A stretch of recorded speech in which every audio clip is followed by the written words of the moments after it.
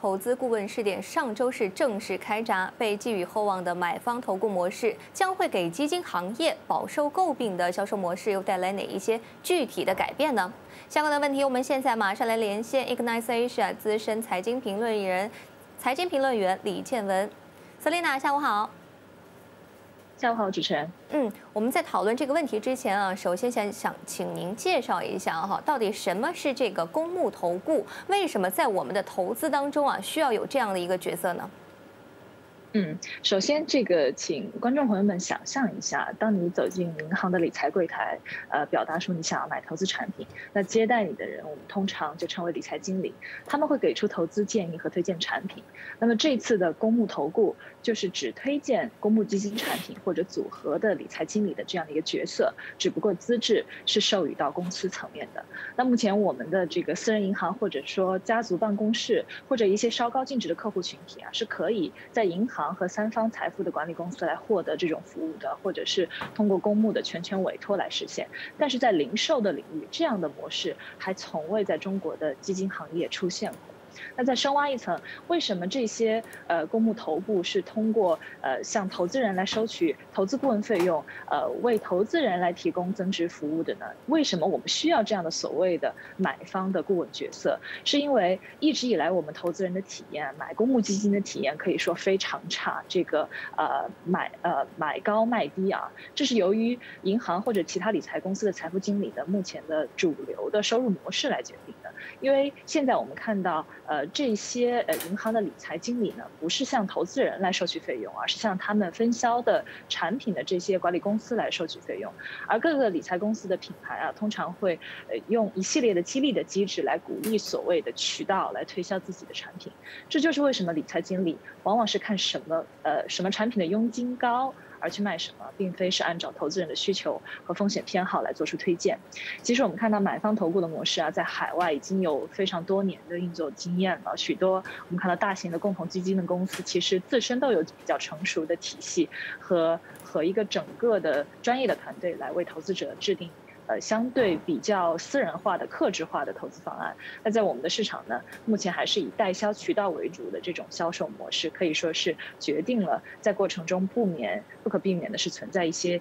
呃销售导向的行为的。那我感觉到呢，其实自今今年以来，监管就已经开始频频发生，是直指目前啊这种以销售奖励金，尤其是一次性的以总。销售量而不是保有量来衡量的这样的一个报酬机制，那经过一系列的铺垫呢，我们看到这次的试点的出台，其实也是不意外的。那相较而言，我们看到买方投顾本身的存量的导向，其实会比现在的我们所谓的流量导向，能够更好的将呃这个投资人的利益和。和这个呃和他自身的利益绑定在一起，也就是说为投资者的长期的收益负责。那我们看到目前的其实试点公布的范围还比较小，而且是只是在公募的领域，可见这个整个中国的大的资管体系下的监管的博弈啊，还是以创新的这种试点为抓手。他们是希望通过引入优质的这种投顾服务，来逐渐改变目前比较畸形的这种产品的销售的生态。主持人。嗯，那另外我们看到现在是五大基金公司是已经入围了，想问一下瑟琳娜，您看这五大基金公司各自都有些什么招数呢？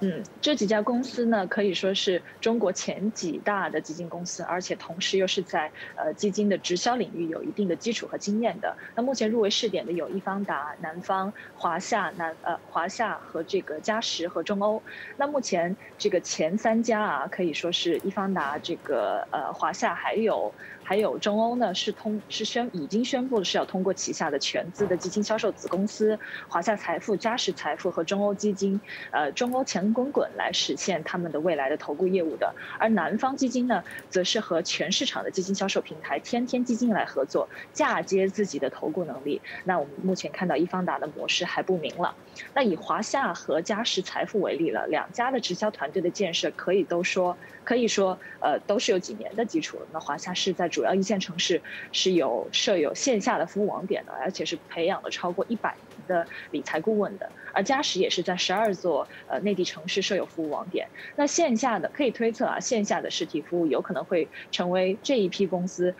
早期来培养接触客户的一个一个好的着力点。那同时呢，我们看到这几家也几乎都是有自己的线上投顾、智能投顾的服务，在过去的几年纷纷出台，所以也可以认为他们有一部分的这个策略也可也可能是呃。通过这种效率更高也更符合年轻一代投资人的这种的投资模式习惯来提供投资建议这样的方式，那其中我个人觉得更有野心，也可能来也可能相较来说更有全局意识的是南方和天天的合作。那南南方也向我们表示呢，他可能会为客立呃为这个天天已经存在的客户来开立这种专属的投资账户，并且定制投顾的策略，呃，尤其是要根据这种选定的策略呢，呃带。客户进行全市场的基金的产品的筛选和配置，全市场这一个词可以说是点明了这个投顾的服务的的这个这个呃服务的模式啊，它的投资的标的是不仅仅是限于自家的产品的，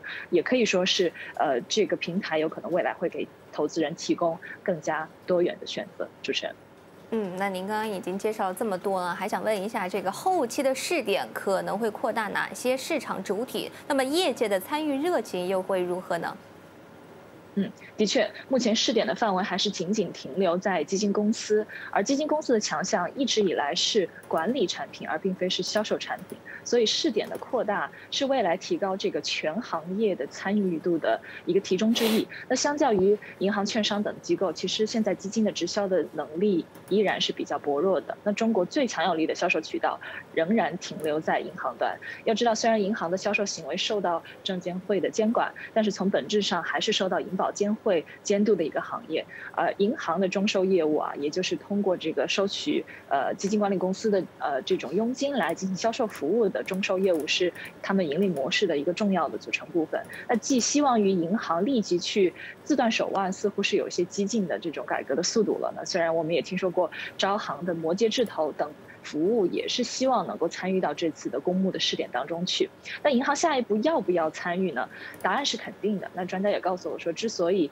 呃先拿公募的公司来做试点，还是因为他们的客户群有限。那这样呃想来试错的成本也会比较小，而且会在可控的范围之内。但是在后期呢，科技公司和银行。或者或者这种三方的直销平台，呃，分销平台也是必然要加入到这种改革的洪流当中去。我们看到，其实科技公司已经在过去的呃这几年跃跃欲试了。其中最有名的例子啊，大家相信呃都会有尝试过他们的服务，就是这个蚂蚁金服旗下的这个支付宝上。其实我们看到，通过这个余额宝的这样的一个成功的模式呢，已经吸引到了很多外资的助力。那早先 i n s Asia 就独家报道过，蚂蚁金服和美国指数基金。金巨头先锋领航在上海已经布局了一个合资的投顾公司，正是为了参与到这个试点当中去。那根据我们独家的，那这个呃合资公司没有办法在这一次呃加入到试点第一批的试点当中，但很有可能会在未来呃也获得这样的投顾的资格。嗯，好的，非常感谢。那其实目前有不少的外资也是纷纷在和中资的电商公司进行接洽，商讨在这个领域的合物的合作的业务的前景。主持人，嗯，好的，非常好，谢谢 Selina 与我们这一节的视频连线，谢谢您。好的，那我们先休息一会儿，广告过后马上回来。